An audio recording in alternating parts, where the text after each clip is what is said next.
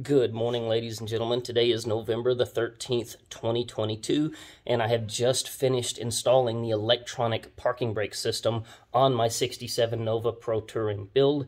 Uh, I've learned a few things to do and not to do, and so I just wanted to kind of share with you guys how I approached it on my car, what I recommend and not recommend after having done this. So let's jump right into it.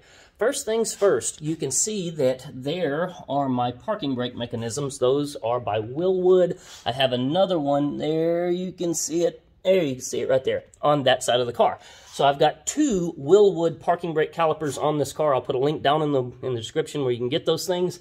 This is a Heidts independent rear suspension system. I'll put a link for that down in the description as well.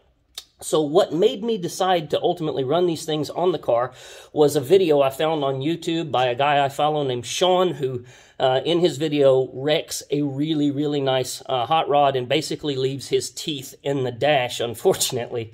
Uh, bless his heart. Uh, Sean's a good guy, has a great channel, but uh, they experienced a really nasty wreck because uh, the brakes failed on a car and they had absolutely no auxiliary system to be able to uh, to get the car stopped. So that kind of made me realize that I needed to run a couple of these uh, these parking brake calipers so that I'd have some sort of extra ability to stop the car. Yes, I am running a dual master cylinder, so you would like to think that you got three ways to stop the car.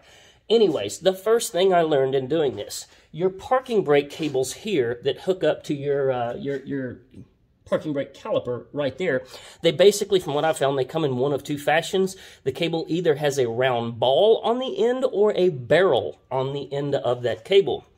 I started off by order, ordering the wrong cable. I ordered the one with the ball on the end and then discovered the hard way that the supplier I got them from does not accept returns. So just be careful of that. If you're doing this job, make sure that you order the correct cable for your car. You'll notice that my cables are really not yet mounted. They're not uh, secured to anything yet. I've got to get my independent rear suspension system out of the car in order to be able to, you know, allow me to drill into the frame right here and ultimately, ultimately mount those cables. So I'll do that later on down the road. The last thing I'll show you under the car, there we go. we can see it right there. The cables run inside the car. Uh, you see them right up in there. There we go. Uh, using grommets, just drilled a hole right inside the car and then run ran uh, the cable through the car using a rubber grommet. So that's how everything is done down here on the bottom of the car. Let me lower it down and we'll have a look inside. I take that back. Before I lower down the car, um, most people that run these systems, electronic parking brake systems on a car, will mount everything underneath the car. In my case, you've got this great big exhaust system that runs through here. You've got coolers that are mounted up in here. The floor dips down for the uh, passenger's rear uh, feet right there. And there's practically no room right up here inside the tunnel. So I really just didn't have anywhere to mount this assembly underneath the car. So uh, that would have been nice to do do, but given that the space wasn't there, that's why uh, my system is inside the car. Okay, so what I ended up buying for the car is called an e-stop. You can see it right there. And yes, I'm going to put a link down below in the description where you can find those things. That e-stop is basically just an electronic module that pulls on a cable.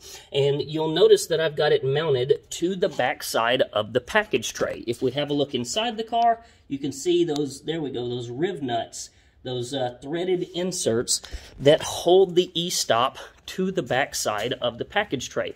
Riv nuts are a really cool little thing. I'll just briefly show you what those are. And again, I'll put a link down below in the description. These are riv nuts, okay? It's basically just a little uh, threaded female rivet that you use a special set of pliers. You put uh, one of those rivets inside, you know, a, a, hole in a piece of sheet metal and the pliers expand the riv nut and then they give you threaded holes that you can see right there that have ultimately allowed me to mount my e-stop to the backside of my package tray. Full disclosure, let me show you where I screwed up. You can see that I've got, you see those bolts there that secure the e-stop to the package tray? Well, there's actually a hole, you barely see my hand, right up in here on the bottom side where I installed one of the holes for the, uh, let's see, right there, for mounting the e-stop. There's actually no room to be able to get a bolt way up inside there. You can kind of see what I'm talking about. There it is, like way down in there. You see that?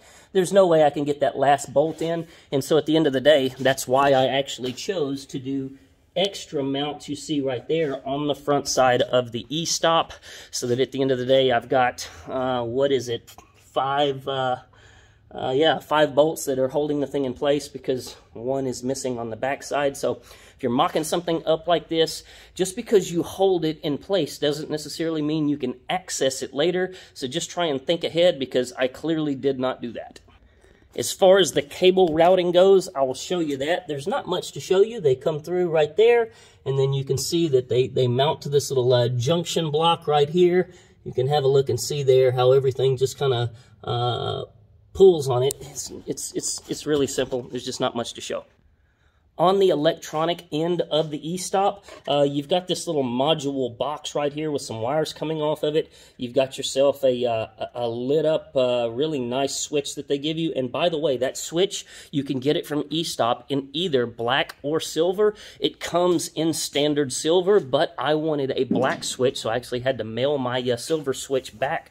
The reason I wanted a black switch was so that at the end of the day, it would mount, you know, in my center console and uh, would kind of match everything else because I'm doing all black switches. I'm really excited to show you guys that center console. I just got it powder coated. It's not done yet, but I'm excited to show that in an upcoming video back to the electrical end of the e-stop. So basically, this little box right here ensures that the e-stop does not pull with more than 600 pounds of force. And yes, I did say 600 pounds of force. So when you go to mount Mm, there it is right there. When you go to mount that booger in your car, make sure that it's mounted to something significant and strong because it's going to have 600 pounds of force pulling on it.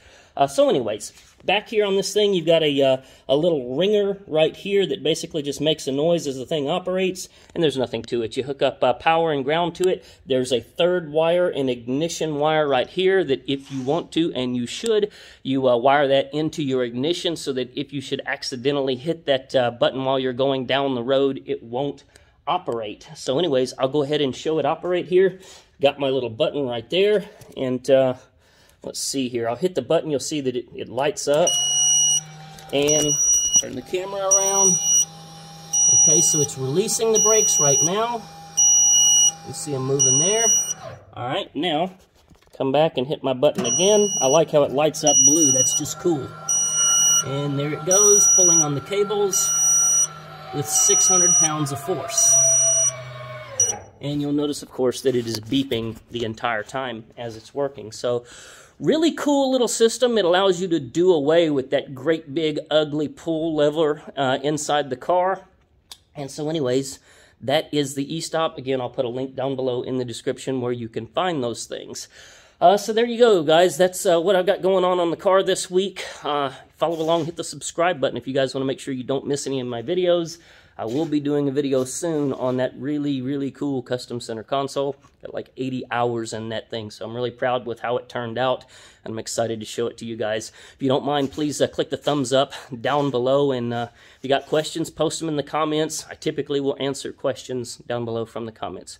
Y'all have a great weekend. Take care.